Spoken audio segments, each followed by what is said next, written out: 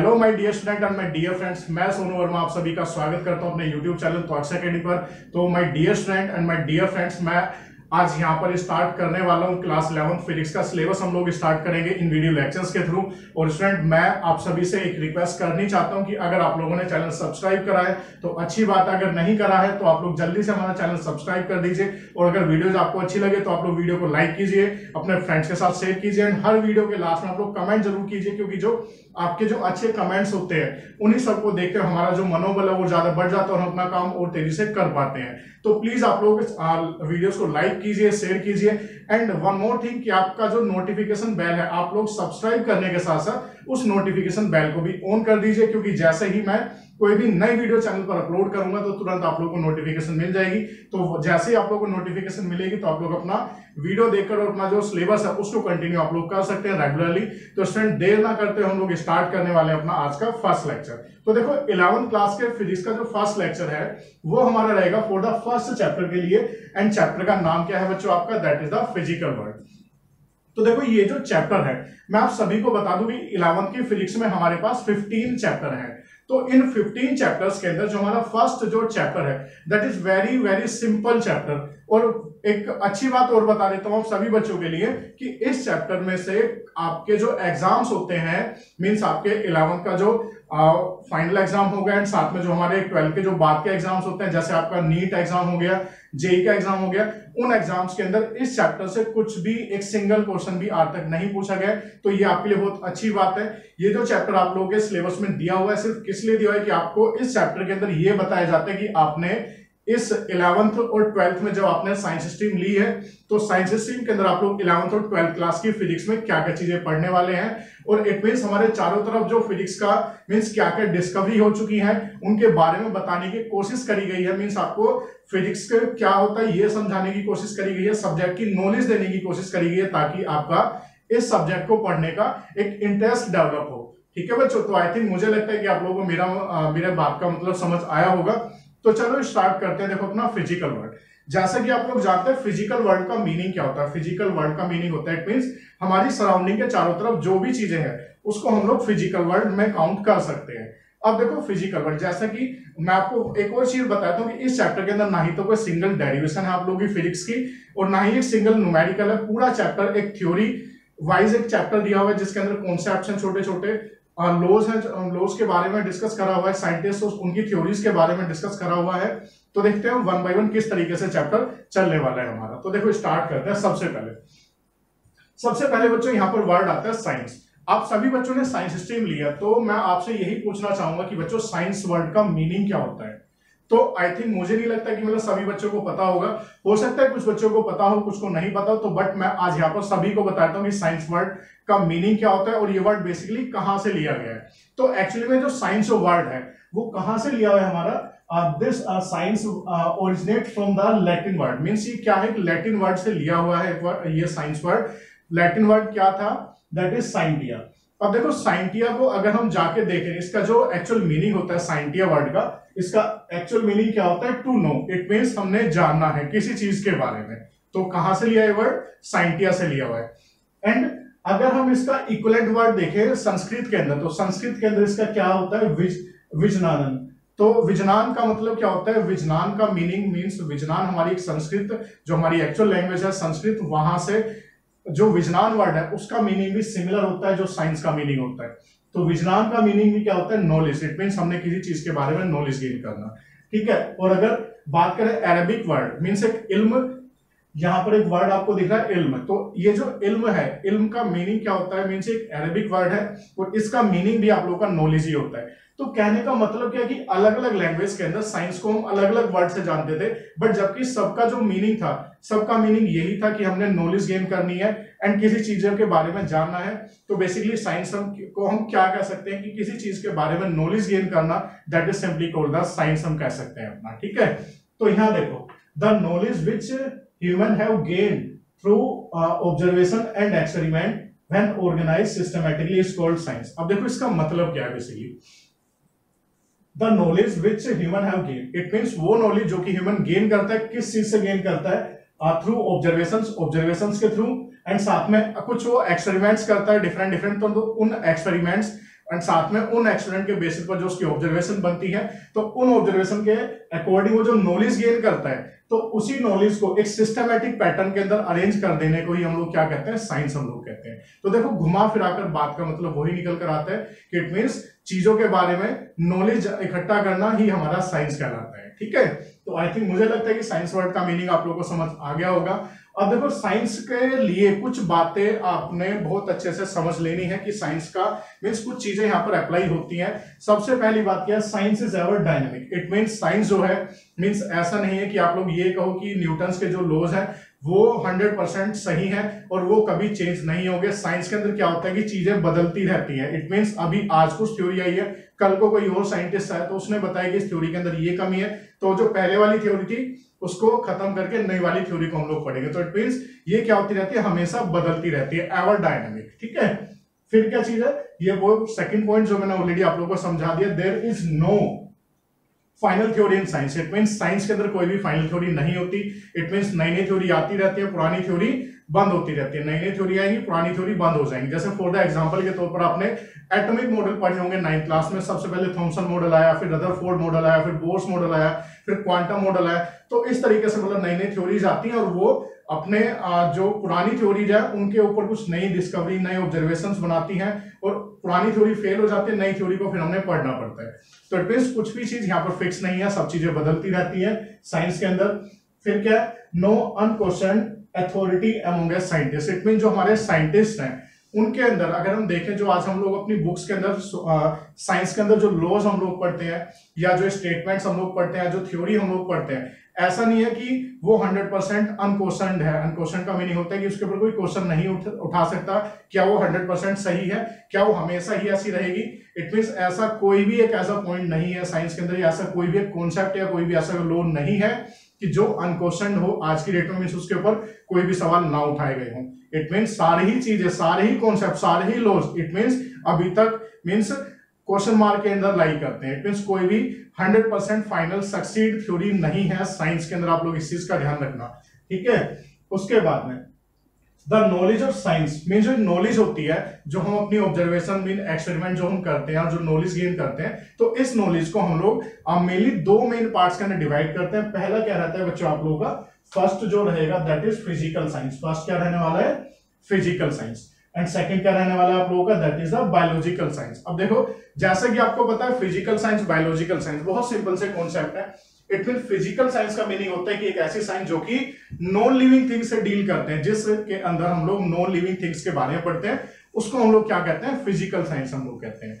And next जो है हमारा that is a biological science and जो बायोलॉजिकल साइंस है, इसका मीनिंग क्या होता है? इट मीन्स एक ऐसी साइंस या एक ऐसा ऐसी नॉलेज जो हमारी किसके बारे में होगी लिविंग थिंग्स के बारे में होगी तो उसको हम क्या कहेंगे? दैट इज़ बायोलॉजिकल साइंस हम लोग इसको कहेंगे। तो पता लगा कि नॉलेज या साइंस को हम लोग अपना दो मेन पार्ट्स के अंदर डिवाइड करते हैं physical science and the biological science physical science deals with the non living thing and the biological science deals with the living things के साथ में डील करती है। एंड फर्दर जब हम लोग इनको आगे चल के डिटेल वाइज ऑब्ज़र्व करते हैं तो इन biological science and physical science को भी सेपरेट ब्रांचेस के अंदर क्या कर दिया गया डिवाइड कर दिया गया। देखो वो किस तरीके से डिवाइड कर रहा है मतलब बहुत सारी ब्रांचेस बना दी गई हैं फ़िज़िकल साइंस की भी बायोलॉजिकल साइंस की भी। उनमें से कुछ ब्रांचेस मैंने यहाँ पर लिखी हुई है, वो आप लोग देख लीजिए। क्या क्या जैसे फ़िज़िकल साइंस में पहला हो गया फिजिक्स हो गया। तो फिजिक्स के अंदर कभी भी हम लोग लिविंग थिंग्स के बारे में नहीं पढ़ते तो उसके बाद में फिर केमिस्ट्री हो गया, फिर जियोलॉजी हो गया जियोग्राफी हो गया एंड एस्ट्रोनॉमी हो गया। एस्ट्रोलॉजी हो गया जियोग्राफी हो गया तो इट मीन ये सारी एक ऐसी साइंस है। इट मीन इन साइंस के अंदर हम लोग सिर्फ़ नॉन लिविंग थिंग्स के बारे में पढ़ते हैं। और आई थिंक ये मुझे बताना नहीं पड़ेगा कि इट मीन्स कि किसमें किस चीज़ के बारे में पढ़ते हैं। ज्योग्राफी के अंदर आप लोग नदी, पहाड़, झरने, इन सब के बारे में पढ़ते हैं। वन जंगल इन सब के बारे में आप लोग पढ़ते हैं। फिजिक्स के अंदर आप लोग लॉज बॉडीज फोर्स ये सब चीज़ें पढ़ते हैं। केमिस्ट्री में आप केमिकल्स वगैरह के बारे में पढ़ते हैं। तो आई थिंक ये सब आपको ऑलरेडी नॉलेज होगी। और अगर नॉलेज नहीं है तो यहाँ जो दो साल का जो वक्त आप लोग इलेवंथ और ट्वेल्थ में बिताएँगे और प्लस साथ में जो आप लोग ग्रेजुएशन करेंगे तो इन सभी ब्रांचेस की थोड़ी बहुत नॉलेज आप लोग को हो जाएगी। ये जो आपका टेंथ के बाद जो आप लोग इलेवंथ में साइंस स्ट्रीम में कन्वर्ट हुए हैं तो ये बिल्कुल एक स्टार्टिंग पॉइंट है और मैं ये नहीं कह सकता कि आपको इस पहली क्लास में आप लोगों को पूरा साइंस स्ट्रीम पूरी जो साइंस है उसके बारे में मैं नॉलेज दे पाऊँगा इस छोटे से लेक्चर के अंदर। इट मीन साइंस क्या है? बहुत बड़ा यूनिवर्स है जिसके बारे में आप लोग, मैं कहूँगा कि जितना नॉलेज गेन कर सकते हैं, उतना कम है। ठीक है? अब देखो आगे। फिर क्या आप लोग बायोलॉजिकल साइंस अब बायोलॉजिकल साइंस क्या होता है बच्चों, जिसके अंदर हम लिविंग थिंग्स के बारे में पढ़ते थे? जैसे आपका बोटनी हो गया जूलॉजी हो गया, बोटनी में किसके बारे में पढ़ते हैं? पेड़, पौधे, वनस्पति, इन सब के बारे में हम लोग पढ़ते हैं। जूलॉजी में एनिमल्स के बारे में हम लोग पढ़ते हैं। फिर एंथ्रोपोलॉजी एनाटोमोलॉजी फोरेंसिक साइंस ये कुछ ब्रांचेस हैं बायोटेक्नोलॉजी तो जो किसकी ब्रांचेस हैं? बायोलॉजिकल साइंस की ब्रांचेस हैं, ठीक है? तो आई थिंक मैं उम्मीद करता हूँ कि आप लोगों को सब समझ आ रहा होगा साइंस का मीनिंग क्या होता है साइंस का डिवीज़न क्या होता है फिर फर्दर जो बायोलॉजिकल साइंस और फ़िज़िकल साइंस को कितने पार्ट्स के अंदर और कैसे कैसे डिवाइड करा हुआ है, किस बेसिस पर डिवाइड कर तो वो भी आप लोगों को समझ आ गया होगा। एक बार फिर से रिपीट करता हूँ कि फ़िज़िकल साइंस क्या होता है? The study about the no living thing and the biological science is the study about the living things and now we move on the main topic जो कि हमारा सब्जेक्ट है दैट इज़ फिजिक्स अब देखो बच्चों फिजिक्स वर्ड का meaning क्या है? मैं आपको बता दूँ साइंस के अंदर आप लोग मुझे जितने भी वर्ड्स पढ़ रहे हैं, ये वर्ड्स कहीं ना कहीं से लिए हुए हैं, जैसे साइंस वर्ड साइंटिया से लिया हुआ है। फिजिक्स जो वर्ड है, वो भी एक ग्रीक वर्ड के ग्रीक वर्ड से लिया हुआ है। वो ग्रीक वर्ड क्या है बेसिकली आप लोगों का? कि जो फिजिक्स है this word originates from the Greek word that is physis कहाँ से लिया है बच्चों आप लोगों का? फ्यूजिस से लिया है, वो जो किस लैंग्वेज का वर्ड है? ग्रीक लैंग्वेज का वर्ड है। और फ्यूजिस का मीनिंग क्या होता है आप लोगों का? दैट इज़ नेचर क्या मीनिंग होता है बच्चों आपका? नेचर होता है, ठीक है? एंड अगर फिजिक्स को हम लोग संस्कृत में देखें मतलब कि जो मीनिंग फिजिक्स का होता है तो उसी के इक्वलेंस में संस्कृत में भी हमारे यहाँ पर एक वर्ड होता है एंड उस वर्ड का नाम क्या होता है? दैट इज़ भौतिकी। आपने सुना भी होगा भौतिक विज्ञान। फिजिक्स को हम लोग हिंदी में क्या कहते हैं? जो हमारी पर्टिकुलर लैंग्वेज है, हम उसको भौतिक विज्ञान हम लोग कहते हैं। तो भौतिकी का मीनिंग क्या होता है? Study of the physical world physical world में वही सब आ जाता है हमारा नेचर और जो हमारे आसपास आसपास की चीज़ें हैं, उन सब के बारे में स्टडी करना, ठीक है?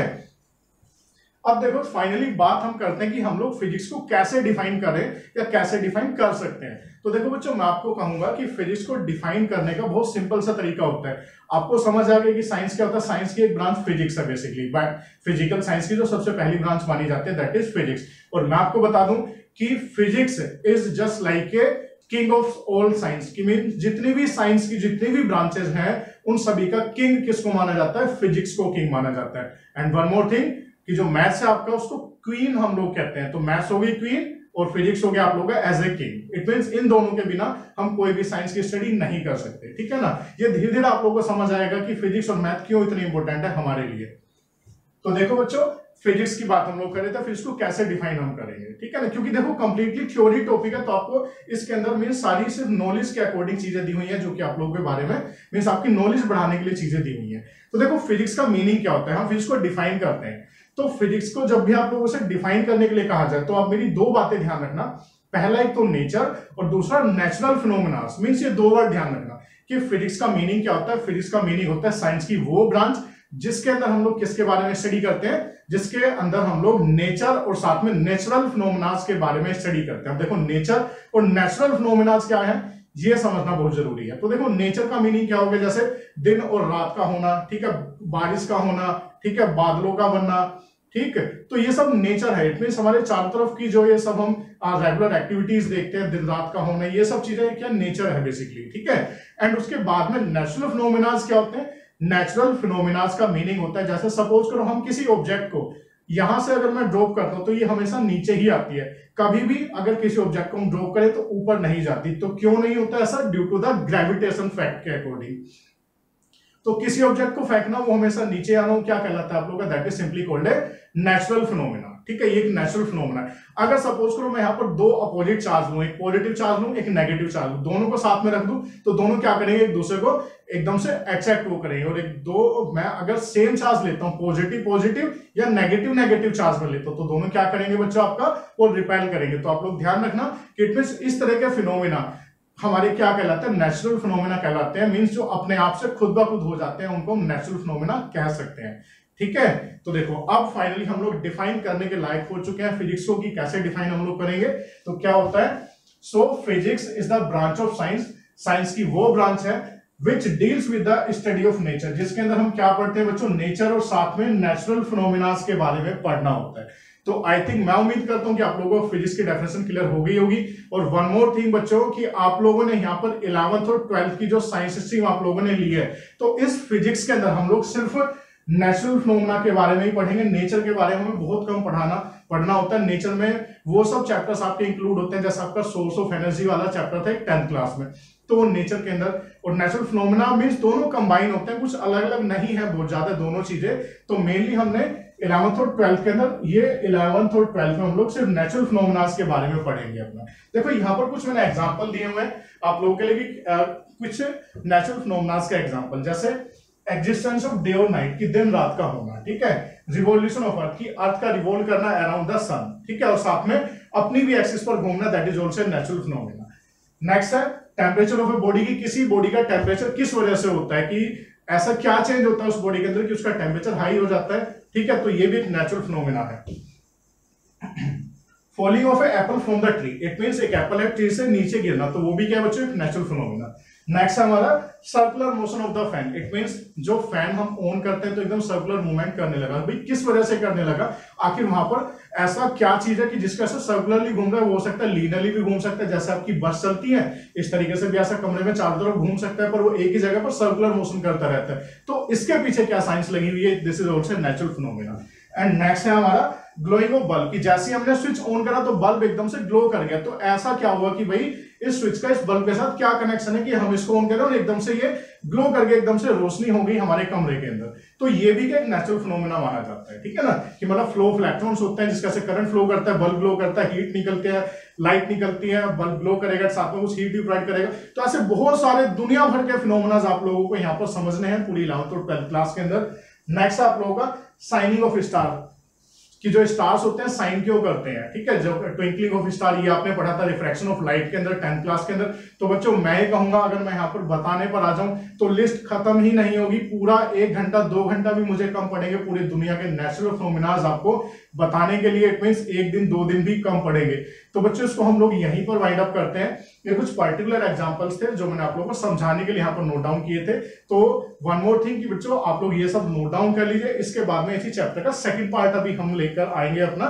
तो आप लोग इसको नोट कीजिए। हम सेकंड पार्ट स्टार्ट करते हैं इस चैप्टर के लिए। चलो बच्चों, फिर अब आगे स्टार्ट करते हैं। तो देखो, आगे जो मैं स्टार्ट करने वाला हूँ that is the principle of study of physics कि हम लोग जो फिजिक्स पढ़ते हैं बेसिकली उसके पीछे क्या प्रिंसिपल छिपे हुए हैं?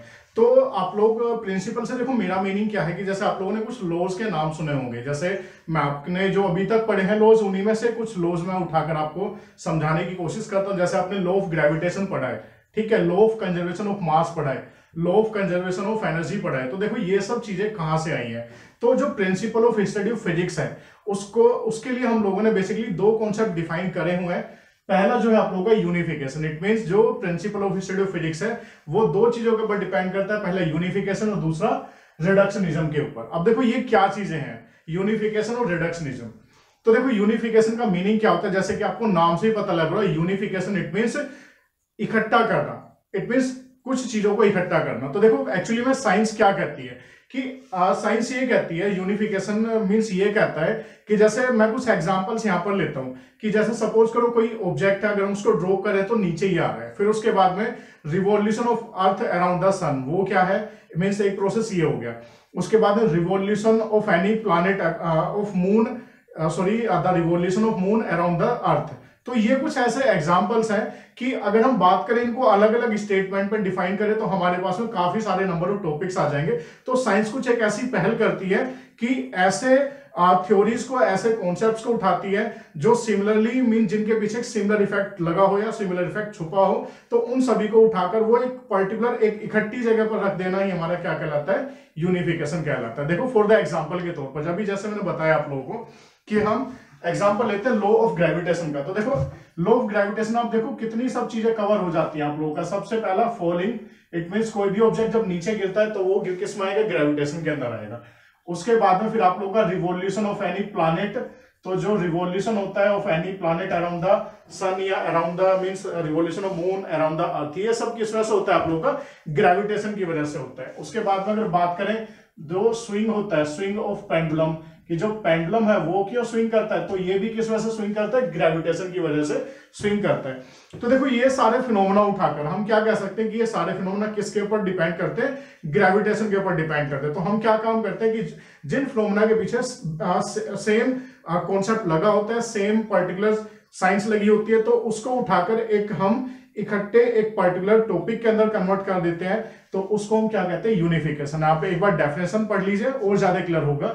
Unification it is an attempt कि एक मींस एक ऐसा अटेम्प्ट है to explain the diverse physical phenomena it means हम ये कोशिश करते हैं कि जितनी भी सारी फिनोमिनाज हमें आसपास दिख रही हैं, उन सबको उठाकर जितना हो सके कंसाइज करने की कोशिश करी जाती है ताकि हमें चीज़ें कम पढ़नी पड़े, चीज़ों के बारे में। मीन्स उनके पीछे की जो थ्योरीज है वो अलग अलग हर पॉइंट पे जाके ना समझनी पड़े। बस हम एक मेन टॉपिक को पढ़ें और उस टॉपिक से हमें जितने भी उसके पार्ट्स हैं, वो सारे कवर्ड हो जाए। जैसे अगर ये लो ग्रेविटेशन अगर हम ना पढ़ें तो हमें सब चीज़ें सेपरेटली पढ़नी पड़ेंगी, सबको सेपरेटली समझना पड़ेगा। तो अभी क्या करा होता है कि लो ऑफ़ ग्रेविटेशन के अंदर हमारे ये सब चीज़ें इंक्लूडेड होती हैं। तो इट मीन इन सबको उठाकर एक सिंगल चीज़ के अंदर कन्वर्ट कर देना सिंगल कैटेगरी के अंदर ले आना, इसको हम क्या कहते हैं? यूनिफिकेशन कहते हैं। ठीक है? तो क्या चीज़ है? It is an attempt to explain diverse physical phenomena in terms of few concept and laws it mean जो डाइवर्स फिनोमिना मीन जो डाइवर्स पूरा फ़िज़िकल वर्ल्ड है उसको कोशिश ये करी जाती है फिजिक्स के दौरान। फिजिक्स का जो बेसिक प्रिंसिपल कहता है, ये कहता है कि हम क्यों ना उन सबको जितना हो सके मिनिमाइज और जितना हो सके कंसाइज लॉज और कंसाइज कॉन्सेप्ट के अंदर कन्वर्ट करें, ताकि चीज़ों को समझने में आसानी हो। ठीक है? उसके बाद में, अब देखो, एक और एग्जांपल है हमारे पास है कंजर्वेशन ऑफ़ एनर्जी मैं बता दूँ कंजर्वेशन ऑफ़ एनर्जी एक सिंपल एक ऐसा कॉन्सेप्ट है, जो इस दुनिया के मेरे ख्याल से I think twenty percent phenomenas को एक्सप्लेन करने के लिए एप्लीकेबल होता है। ट्वेंटी का मैं कहूँगा ऑलमोस्ट काफ़ी सारे फिनोमिना जैसे जो कि कंजर्वेशन ऑफ़ एनर्जी के अकॉर्डिंग चलते हैं। जैसे फॉर द एग्जांपल के तौर पर मैं अगर आपसे बात करूँ तो नाइन्थ क्लास में आप लोगों ने कोलिजन पढ़ा था। तो वहाँ भी क्या था? आपका एनर्जी कंजर्व रहती है। एंड उसके बाद में अगर हम बात करें कि मोशन जो अगर सपोज़ करो हम किसी ऑब्जेक्ट को ड्रॉप करें तो नीचे जब आ रहा है तो उसकी जो मैकेनिकल एनर्जी वो क्या रहेगी? फिर से कंजर्व रहेगी। इट मीन्स अब अगर और बात करें कि अगर सपोज़ करो कि हमने किसी ऑब्जेक्ट को फैक्टर मारा मीन सामने दीवार पर वापस आ गई तो इसमें भी क्या छुपी है? इसमें भी हमारी कंजर्वेशन ऑफ़ एनर्जी छुपी हुई है। मीन जो पेंडुलम का स्विंग करना है माने की ग्रेविटेशन की वजह से करता है, पर उसके अंदर भी आप लोगों का कंजर्वेशन ऑफ़ एनर्जी लगी होती है। तो बच्चों, देखो, ये सब आप लोगों को थोड़ा कम समझ आ रहा होगा, क्योंकि ये सब आपने अभी पूरा डिटेल वाइज पढ़ा नहीं है। तो जैसा कि मैंने पहले ही बताया था आप लोगों को कि ये चैप्टर सिर्फ़ आप लोगों को ये बताएगा कि आपने इलेवन ट्वेल्थ में क्या क्या चीज़ें पढ़नी है, और साइंस और फिजिक्स के बारे में आप लोगों को बेसिक नॉलेज प्रोवाइड कराएगा। आप लोग इससे घबराए ना, अगर कम समझ आ रहा है तो चल जाए काम, क्योंकि सीधी सी बात है एग्ज़ाम के अंदर ज़्यादा क्वेश्चन तो आने नहीं है मीन ना के बराबर मीन एक सिंगल क्वेश्चन भी नहीं आता, और जो क्वेश्चन आता है वो मैं आप लोग को डेफिनेटली बताऊँगा कि क्या क्वेश्चन आपका आ सकता है, पर अभी इसमें से कुछ भी क्वेश्चन आ नहीं सकता अभी। ठीक है?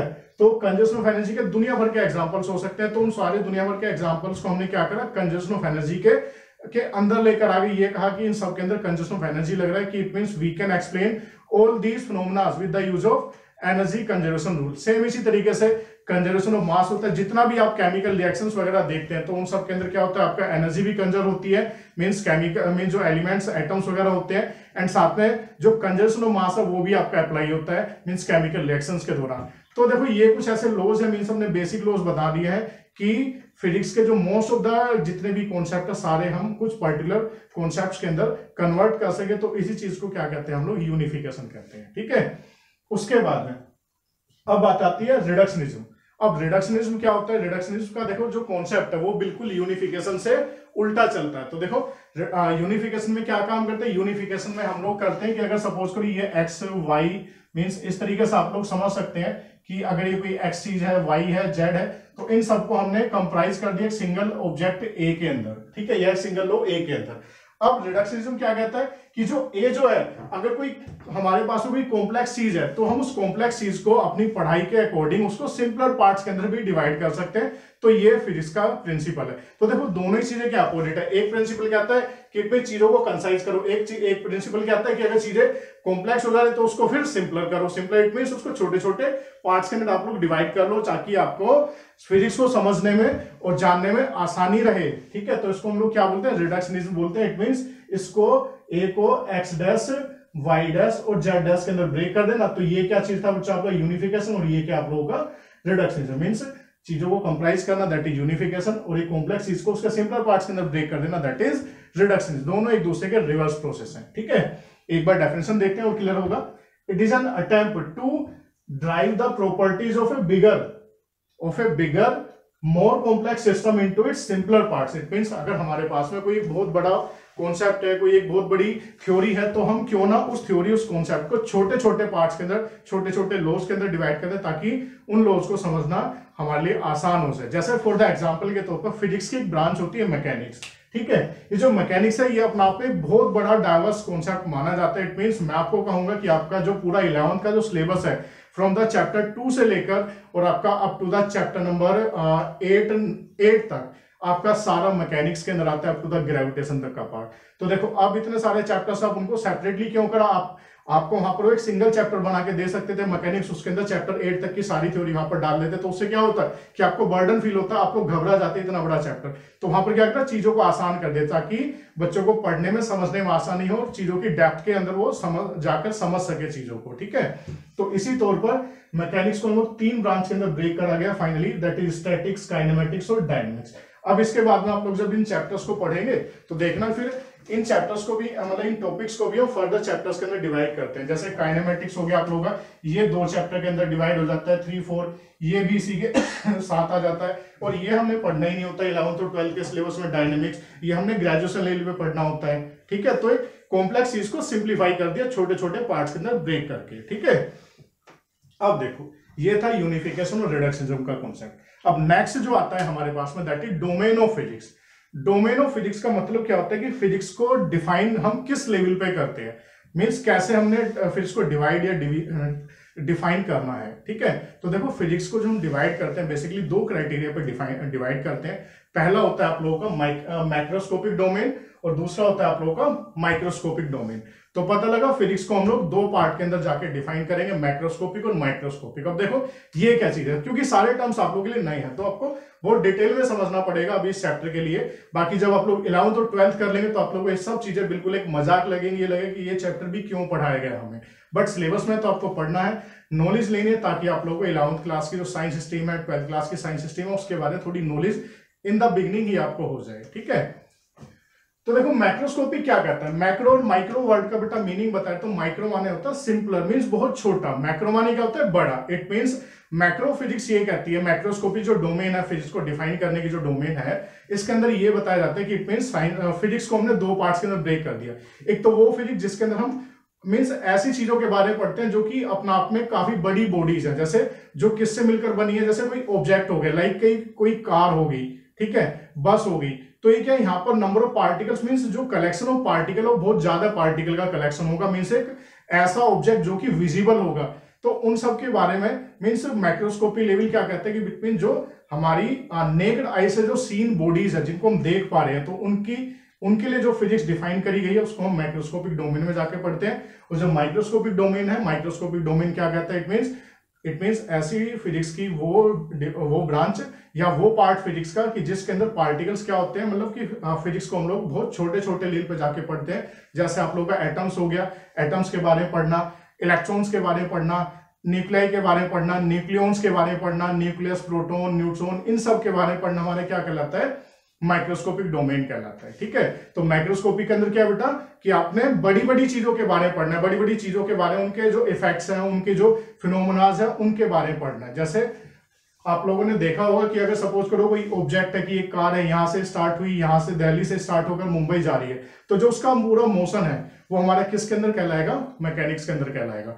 और सेकंड एग्जांपल अगर सपोज़ करो एक इलेक्ट्रॉन है, वो के सेल से जंप करके एल सेल में चला गया तो इस तरह के जो कॉन्सेप्ट्स होते हैं, हमारे कहाँ पर आते हैं? इस माइक्रोस्कोपिक डोमेन के अंदर आते हैं। इट मींस सिंपल सी बात है, देखो बच्चों, मेरे कहने की कि जहाँ पर चीज़ें विजिबल हो दैट इज़ माइक्रोस्कोपिक डोमेन जहाँ पर चीज़ें विजिबल नहीं होती, उसको क्या कहते हैं? माइक्रोस्कोपिक डोमेन हम लोग कहते हैं, ठीक है?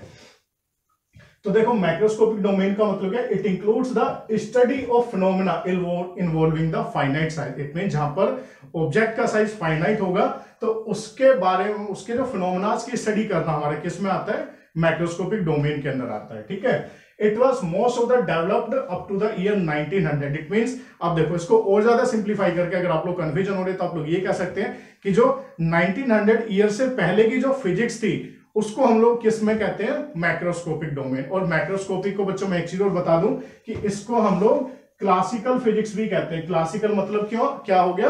कि मतलब पुरानी फिजिक्स। तो पहले क्या था? पहले हम छोटी बॉडीज के बारे में इलेक्ट्रॉन, प्रोटॉन के बारे में, क्योंकि इनकी डिस्कवरी नहीं हुई थी 1900 से पहले।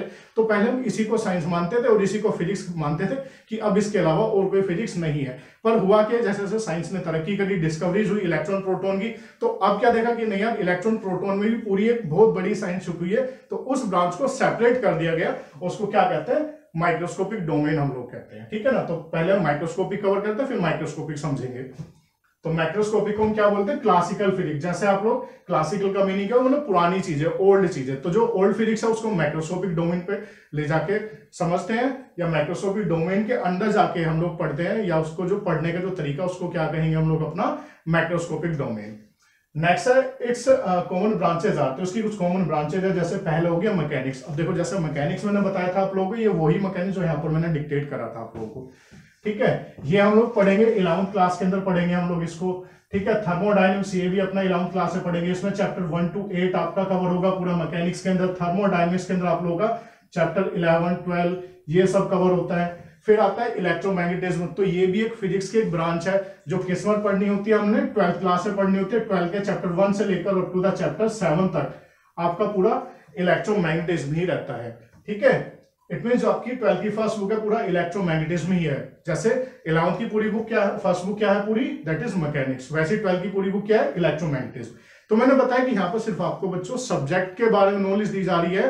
कोई नई चीज़ नहीं बताई जा रही है आप लोगों को। ठीक है? फिर आता माइक्रोस्कोपिक डोमेन तो it includes the study of phenomena involving the molecules atom nuclei electron and other elementary particle it mean इसके अंदर हम क्या क्या चीज़ें पढ़ते हैं? एटम्स के बारे में न्यूक्लियाई के बारे में। अब न्यूक्लियाई के अंदर क्या क्या चीज़ें होती हैं? न्यूट्रॉन होता है प्रोटोन होता है एटम के अंदर इलेक्ट्रॉन प्रोटोन होते हैं। तो इन सब की स्टडी करना क्या लाएगा? इन सब की जो स्टडी है वो हम किसके अकॉर्डिंग करते हैं? माइक्रोस्कोपिक डोमेन के अकॉर्डिंग करते हैं। मतलब उस कॉन्सेप्ट को हम क्या कहेंगे? माइक्रोस्कोपिक डोमेन हम लोग कहेंगे, ठीक है? उसके बाद में ये जो डेवलप हुई थी, वो कब हुई थी? आफ्टर द 1900 अब देखो 1900 के बाद में जो साइंस हमारी डेवलप हुई, उसको हमने माइक्रोस्कोपिक डोमेन कहा। ठीक है? उसके बाद में it is also called the modern physics क्या कहते हैं इसको बच्चों हम लोग अपना? मॉडर्न फिजिक्स हम लोग कहते हैं। मतलब कि आजकल की नई फिजिक्स ठीक है? उसके बाद में इट्स कॉमनली ब्रांचेज की कुछ कॉमन ब्रांचेज जैसे क्वांटम थ्योरी होगी प्लैंक्स थ्योरी होगी तो ये आप लोग इलेवंथ में सॉरी इलेवंथ में तो फिजिक्स में नहीं पढ़ोगे आप लोग इसको। हाँ इलेवंथ में केमिस्ट्री के सेकंड चैप्टर थोड़ा बहुत क्वांटम थ्योरी के बारे में पढ़ा जाता है। पर ये जो आपका क्वांटम थ्योरी ये सारी ट्वेल्थ की सेकंड बुक के अंदर आएगी, वहाँ पर हम लोग क्वांटम थ्योरी पढ़ेंगे। कहाँ पर? अपना ट्वेल्थ की फिजिक्स की बात हम लोग कर रहे हैं केमिस्ट्री केमिस्ट्री वाले सर बताएँगे। तो ट्वेल्थ के अंदर हम लोग अपना चैप्टर नंबर इलेवन से लेकर और आपका अप टू द थर्टीन तक ये पूरा क्वांटम थ्योरी के अंदर कवर होता है, ठीक है? सिमिलर प्लैंक्स थ्योरी एक थ्योरी होती है, आप लोग जब पढ़ोगे जब पता लग जाएगा, उससे घबराना नहीं है। फिर क्या आता है? मीजो फिजिक्स अब देखो बच्चों मीजो फिजिक्स क्या होता है? इट मीन्स आप ये मान सकते हो माइक्रोफिजिक्स का माइक्रोस्कोपिक डोमेन का मीनिंग क्या था कि जिसके अंदर मिलियंस बिलियंस ऑफ़ पार्टिकल मिलकर एक बड़ी बॉडी को बना रहे हैं। और माइक्रोस्कोपिक क्या था जिसमें? एक या दो छोटे छोटे पार्टिकल्स होंगे, ठीक है? तो माइक्रो क्या हो? बिल्कुल लोवेस्ट लेवल और माइक्रो क्या होगा? बिल्कुल हाईएस्ट लेवल तो इनके बीच की भी तो कोई स्टेट होगी ना? तो उस बीच की स्टेट को हम लोग क्या बोलते हैं? मीजो फिजिक्स हम लोग बोलते हैं। तो intermediate between the micro and the micro macro और माइक्रो के बीच की जो स्टेट होती है, उसको हम क्या बोलेंगे? मीजो फिजिक्स हम लोग बोलेंगे। मतलब ये माइक्रोस्कोपिक फिजिक्स हो गया, ये माइक्रोस्कोपिक फिजिक्स हो गया, उनके बीच की जो स्टेज होगी, उसको हम क्या बोलेंगे? मीजो फिजिक्स बोलेंगे। अब इसमें क्या होगा? Dealing with a few tens to hundred atom तो इसके अंदर सिर्फ़ हम लोग अपना 10 से लेकर 100 एटम्स के बीच का कलेक्शन होगा जो हमने यहाँ पर मतलब जिन जिन ऑब्जेक्ट के बारे में पढ़े, पढ़ना है वो ऑब्जेक्ट है तो 10 से लेकर 100 एटम्स के तक बने होंगे, ठीक है? और यहाँ पर क्या होगा? यहाँ पर मिलियंस बिलियंस पता नहीं कितने एटम से मिलकर बना होगा। यहाँ पर एक या दो एटम्स होंगे और यहाँ पर क्या होगा? दस से लेकर सौ एटम्स तक की कलेक्शन होगी उस बॉडी को बनाने में, ठीक है ना? तो पता लगा बच्चों आप लोग माइक्रोस्कोपिक माइक्रोस्कोपिक और साथ में मीजोफिल्स का कॉन्सेप्ट क्या था? अब इसके बाद में हमारे पास एक और नई चीज़ है, जो कि हमारे स्कोप है स्कोप है फिजिक्स का कि क्या क्या स्कोप है। तो आप लोग ये सब नोट कीजिए, वो भी हम लोग आज के लेक्चर में कवर करें तो चलो बच्चों, अब हम इस चैप्टर के जो लास्ट कुछ टॉपिक्स है, वो हम लोग स्टार्ट करते हैं। तो देखो, इसमें पहले क्या है आप लोगों का that is scope of physics अब स्कोप ऑफ़ फिजिक्स का मीनिंग क्या होता है कि जैसे सपोज़ करो आप लोग ये मान सकते हैं कि हम अगर बात करें किसी पर्टिकुलर कॉन्सेप्ट की जो सबसे लोवेस्ट डिफाइनिंग वैल्यू है, वो क्या है और सबसे हाईएस्ट डिफाइनिंग वैल्यू क्या है उसकी? जैसे अगर हम बात करें लेंथ की तो देखो लेंथ हम छोटी से छोटी कितनी लेंथ मेजर कर पाए हैं साइंस के अंदर या फिर फिजिक्स के अंदर। तो वो लेंथ कितनी हमारी? जैसे साइज़ ऑफ़ न्यूक्लियस एटम के अंदर आपने पढ़ा होगा कि एटम के अंदर न्यूक्लियस होता है। न्यूक्लियस का साइज़ क्या होता है? एटम से भी छोटा होता है। जब एटम नहीं दिखता तो ओबेसी बात है न्यूक्लियस भी हमें नहीं दिखेगा, पर हम लोग न्यूक्लियस का साइज़ भी कैलकुलेट कर चुके हैं। तो कितना होता है न्यूक्लियस का साइज़ आप लोगों का? About ten to power minus fourteen metre means ये साइज़ हम लोग कैलकुलेट कर चुके हैं अपनी साइंस के अंदर। मीन्स इतना छोटा भी हम मेज़रमेंट कर चुके हैं। फिर अगर हाईएस्ट लेवल देखा जाए कि कितनी लेंथ हम हाईएस्ट लेवल पे मेजर कर चुके हैं तो वो कितना है बच्चों? आप लोगों का that is size of universe size of universe अगर इस पूरे यूनिवर्स को देखा जाए तो उसकी लेंथ कितनी है आप लोगों की? That is ten to power twenty six metre तो it mean tens to power minus fourteen से लेकर ten S to twenty six के बीच की डिस्टेंस हम मेजर करने के लायक है आज की डेट में साइंस के अकॉर्डिंग ठीक है? तो उसके बाद में फिर आता है मास के रेस्पेक्ट में देखो मास के रेस्पेक्ट में सबसे छोटे से छोटा मास जो कि हम लोग मेजर कर पाए हैं वो क्या है आप लोगों का? That is mass of any electron तो मास ऑफ़ इलेक्ट्रॉन कितना होता है? Ten to power minus thirty one kilogram होता है। तो माइनस थर्टी वन किलोग्राम से लेकर अब जो हाईएस्ट मास जो कैलकुलेट कर पाए हैं, वो कितना है आप लोगों का? That is mass of universe और ये आपको पता है कि यूनिवर्स से बड़ी कोई चीज़ है नहीं अभी हमारे मतलब चारों तरफ़। तो इट मीन पूरे यूनिवर्स का मास कितना है? टेन की पावर फिफ्टी फाइव किलोग्राम ठीक है? उसके बाद में बात आती है टाइम अब देखो टाइम के रेस्पेक्ट में लोवेस्ट वैल्यू क्या जो हम लोग मेजर कर पाए हैं? That is time taken by light to cross the nucleus अब देखो न्यूक्लियस क्या होता है? बहुत छोटा सा होता है। कितना होता है? Ten power minus fourteen centimetre fourteen metre तो लाइट को पूरा न्यूक्लियस कवर करने में कितना टाइम लगेगा? वो टाइम कितना लेती है? Ten to power minus twenty two second मतलब एक सेकेंड का tens to power twenty two वाला पार्ट मीन्स आप इमेजिन भी नहीं कर सकते। इतना छोटा टाइम हम लोग कैलकुलेट कर चुके हैं। एंड जो हाईएस्ट लेवल ऑफ़ टाइम है, वो कितना कैलकुलेट हो चुका है अभी तक? That is time taken by light to cross the universe it mean अगर सपोज़ करो, मैं लाइट को यहाँ से स्टार्ट करता हूँ तो लाइट कितनी देर में पूरे यूनिवर्स को क्रॉस करके बाहर निकल जाएगी? तो कितना है उसका लेंथ मतलब उसकी value that is ten power eighteen second तो ये लोवेस्ट वैल्यू है टाइम की जो हम मेजर कर पाए हैं, जो हाइएस्ट वैल्यू है जो हम मेजर कर पाए हैं टाइम की, ठीक है? तो these are the scope scope का मीनिंग क्या होता है लोवेस्ट रेंज से लेकर अपर रेंज के बीच की जो वैल्यूज़ होती है, उसको हम लोग स्कोप बोलते हैं, ठीक है ना? अब देखो नेक्स्ट है। अब इसी तरीके से मैं आप लोगों को एक चीज़ बता दूँ स्कोप अगर हम अलग अलग बेसिक चीज़ों पर देखें तो हर किसी चीज़ का अपना अलग अलग बेसिक स्कोप है। जैसे फोर्स की बात करें मिनिमम फोर्स हमने कितना कैलकुलेट कर सकते हैं हाईएस्ट वैल्यू फोर्स कितना कैलकुलेट करा जा सकता है। तो ऐसी हर किसी कॉन्सेप्ट का एक स्कोप मीन एक रेंज है, उसकी लोवेस्ट वैल्यू और हाइएस्ट वैल्यू ठीक है? अब नेक्स्ट आप लोग का टेक्नोलॉजी अब देखो टेक्नोलॉजी क्या है? आप लोग बहुत अच्छे से नोन टू होंगे इस टर्म से। टेक्नोलॉजी का मीनिंग क्या होता है? कि हम लोग जो साइंस के अंदर पढ़ते हैं, जो बेसिक लॉज हम पढ़ते हैं उन बेसिक लॉज का यूज़ करके हम उनकी हेल्प से, उन लॉज की हेल्प से कोई एक पर्टिकुलर डिवाइस एक पर्टिकुलर ऑब्जेक्ट हम ऐसा बना देते हैं उन लॉज की हेल्प से। तो इस लॉज को कन्वर्ट कर देना एक प्रैक्टिकल एप्लीकेशन के अंदर मीन्स एक विजिबल एप्लीकेशन के अंदर। तो उसको क्या कहते हैं हम लोग? अपना एप्लीकेशन कहते हैं। जैसे आप लोग देख रहे होंगे अपने आसपास, जितने भी व्हीकल्स के इंजन है, ये क्या? ये भी एक तरह की टेक्नोलॉजी है। जो, अब देखो, यहाँ पर बात आती है कि जो इंजन है इसमें इस टेक्नोलॉजी में बेसिक कौन से लोज छुपे हुए हैं? तो देखो, इसमें जो बेसिक लोज जो छुपे हुए हैं, वो सबसे पहला तो है आप लोगों का conservation of energy it mean energy conserve conservation क्या कहते हैं? कि हम लोग पेट्रोल को बर्न करते हैं। जो पेट्रोल बर्न करते हैं, वहाँ से हीट एनर्जी निकलेगी। वो हीट एनर्जी किसके अंदर कन्वर्ट हो जाएगी आप लोग की? मैकेनिकल एनर्जी के अंदर। उस मैकेनिकल एनर्जी से हमारा व्हील घूमेगा और हम अपना कुछ डिस्टेंस कवर करेंगे। तो ये बेसिक किसके ऊपर डिपेंड कर रहा है? एनर्जी कंजर्वेशन रूल के ऊपर डिपेंड कर तो हमने क्या करा कि जो बेसिक लो था फिजिक्स का कंजर्वेशन ऑफ़ एनर्जी उसकी हेल्प से अपना अपना यूज़ करके इंजन को बना दिया। फिर आता है टीवी मोबाइल फ़ोन लैपटॉप ये सब क्या है? ये सब आपका मैं बता दूँ कि जो आपने अभी जो इस बेसिकली जो माइक्रोस्कोप डोमेन मैंने पढ़ाया था, उसके अंदर एक आप लोगों को पढ़ाया था दैट इज़ मीजो फिजिक्स तो मीजो फिजिक्स और माइक्रोस्कोपिक डोमेन से हमारा एक स्पेशल ब्रांच बनी है दैट इज़ सेमीकंडक्टर फिजिक्स तो सेमीकंडक्टर फिजिक्स आपने देखा होगा कि सेमीकंडक्टर फिजिक्स का मतलब क्या होता है कि पहले कंप्यूटर बहुत बड़े बड़े होते थे। फिर उन बड़े बड़े कंप्यूटर्स के अंदर डायोड्स वॉल्स ये सब लगे होते थे। तो उन सब का जो, उन सबको रिप्लेस करके हमने छोटी छोटी माइक्रो चिप्स बनानी स्टार्ट कर दी। मीन सिलिकन चिप्स बनानी स्टार्ट कर सिलिकॉन चिप्स ने क्या करा? चीज़ों को रिड्यूस करता चला गया। इतनी चीज़ें इतनी रिड्यूस हो गई कि आज की डेट में हम लोग अपने जो मिनी लैपटॉप आप या मिनी कंप्यूटर आप कह सकते हैं अपने मोबाइल फ़ोन को मोबाइल फ़ोन क्या है? एक तरह का मिनी कंप्यूटर हम उसको कह सकते हैं, क्योंकि आज डेट में जो काम अपने कंप्यूटर पे करते हैं, वो सारे काम अपने लैपटॉप माइक्रो मोबाइल फ़ोन पे भी कर सकते हैं। तो टेक्नोलॉजी अब देखो यहाँ पर इस टेक्नोलॉजी को हम कैसे समझेंगे अपना? कि जो सेमीकंडक्टर फिजिक्स के जितने भी लोज थे ना, उन सारे लोज को इकट्ठा करके, उन सारे लोज से मिला जुलाकर हमने क्या बना दिया? टीवी बना दिया, मोबाइल फ़ोन बना दिया। और बच्चों, देखो, ये लिमिटेशन है कि आपको, अभी आज पहली क्लास में आप लोग बैठे तो मैं नहीं, मैं ये नहीं कहूँगा कि आप लोगों को आज ही मैं मोबाइल फ़ोन और टीवी बनाने सिखा सकता हूँ, क्योंकि एक बहुत लंबा सा बीतेगा, पूरी डिटेल वाइज पूरी साइंस की नॉलेज लेंगे तो मैं एक दिन ये ज़रूर उम्मीद करूँगा कि आप लोग खुद से मोबाइल बनाओ, खुद से अपनी, खुद की इंडस्ट्री खोलो, कि आप लोग खुद से मोबाइल और टीवी बनाने लायक हो जाओ। ठीक है? अब देखो नेक्स्ट आता है न्यूक्लियर इक्विपमेंट अब क्या है कि हमारे जो अभी आज की डेट में आपने सुना होगा कि हमारे पूरे यूनिवर्स के अंदर सन एक मेन सोर्स ऑफ़ एनर्जी माना जाता है। पर धीरे धीरे जो सन की जो है जो हमारे जो फंडामेंटल जो एनर्जी का रिसोर्सेज है ठीक है तो धीरे धीरे वो खत्म हो रहे तो इसी के बेसिस पर हमने एक नया सोर्स ऑफ़ एनर्जी डिस्कवर करा that the nuclear energy source तो न्यूक्लियर एनर्जी सोर्स का जो आ, की वजह से की हेल्प से हमने कुछ इक्विपमेंट बनाए जो कि अपना न्यूक्लियर इक्विपमेंट उनको कहते हैं। जैसे आपने सुना होगा कि न्यूक्लियर एनर्जी की हेल्प से आज के डेट में इलेक्ट्रिसिटी प्रोड्यूस करी जा रही है। न्यूक्लियर एनर्जी की हेल्प से हम कोशिश कर कि अपने मीन्स कुछ ऐसे काम कर सके जो कि आज के डेट में जितने हमारे बहुत ज़्यादा रिसोर्सेज ऑफ़ एनर्जी खर्च हो रहे हैं। तो ये सब काम अभी चल रहा है धीरे धीरे और धीरे धीरे होते होते आप लोग इसकी न्यूक्लियर इक्विपमेंट अब देखेंगे।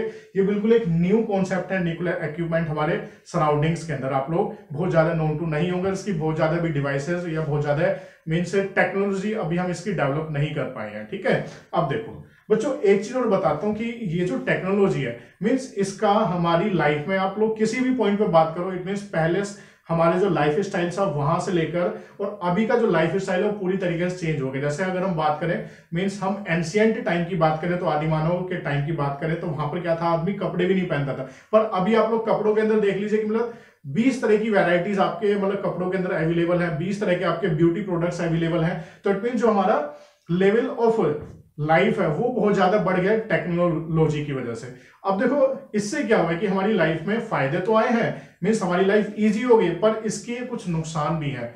नुकसान आप लोगों ने सुना होगा, जैसे हम न्यूक्लियर वेपन्स की बात करें तो न्यूक्लियर वेपन क्या है कि अगर सपोज़ के न्यूक्लियर बॉम्ब अगर डिस्पोज कर दिया जाए किसी भी कंट्री के ऊपर तो वो कंट्री तो पूरी खत्म हो ही जाएगी, उसके आसपास की जो कंट्री है, वो भी सारी खत्म हो जाएगी। तो इट मीन कुछ फ़ायदे हैं तो कुछ नुकसान भी है इन टेक्नोलॉजी के। इट मीन कि हम इसको अच्छी चीज़ों के साथ साथ बुरी चीज़ों में भी यूज़ कर सकते हैं। और मैं उम्मीद करूँगा कि आप लोग कभी ऐसा मत सोचना कि हम लोग अपने जो ये सब टेक्नोलॉजी उसको किसी गलत तरीके से हम यूटिलाइज करें क्योंकि बहुत बैड इंपैक्ट पड़ेगा, ठीक है? तो ये था हमारा टेक्नोलॉजी टेक्नोलॉजी क्या था बच्चों आपका कि फिजिक्स के जो लॉज है, उनका यूज़ करके हमने कोई बेसिक एक पर्टिकुलर डिवाइस एक पर्टिकुलर ऑब्जेक्ट बना देना, जिससे हमारी लाइफ इजी हो जाए और एक मस्त लाइफ हम जी सके, ठीक है? अब इसके बाद में देखो, जो इस चैप्टर का सबसे मेन और इंपॉर्टेंट टॉपिक है, जहाँ से मैंने मैं आपको कहूँगा कि क्वेश्चन आने के चांसेस होते हैं बेटा, वो ये टॉपिक आप लोग इस टॉपिक को अच्छे से करना फंडामेंटल फोर्सेज इन नेचर ठीक है? अब देखो फंडामेंटल फोर्सेज इन नेचर का मीनिंग क्या होता है?